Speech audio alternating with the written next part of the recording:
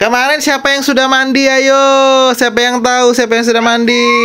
Bukan Ping Ping, tapi adalah Floppy. Siapa yang kelelep disiram-siram papa kemarin dan teriak-teriak bukan. Yang kelelep uh, uh, minta sedotan siapa supaya bisa bernapas. Itu Floppy namanya. Nggak bisa dong buktinya warnamu sama Fluffy masih putihan Fluffy. Iyalah, nggak apa-apa lah. Tapi ngomong-ngomong gimana baunya Fluffy? Coba bocil cium dulu. Tepat. Jadi bisa diceritakan ke penontonnya bocil. Baunya gimana setelah mandi? Ada bau-bau harumnya khas? Ada Apa? harum ya, Sabun. harum.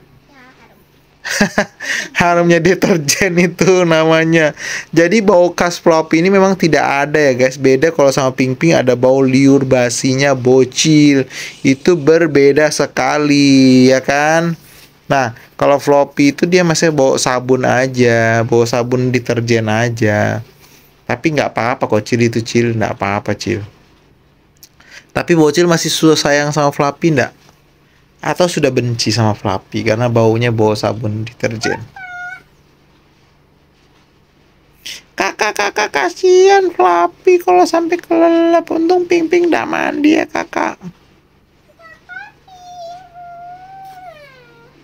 Perlu bawa Ping Ping hitam ke dalam sini untuk diperkenalkan juga. Hah? Kenapa nggak mau? Tadi Ping Ping hitam itu mampir di toko loh Ping.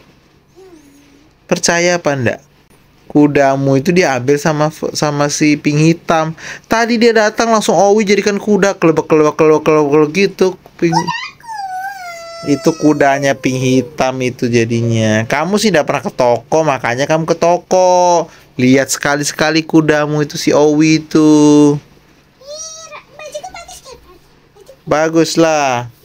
Bajunya bocil, eh bajunya bocil, bajunya Ping Ping bagus. Kemarin dijahit sama bocil ya?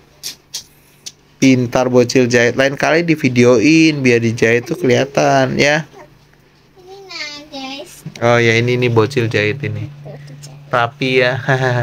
Oke, sekian video kita kali ini. Jangan lupa like, comment, dan subscribe. Bye.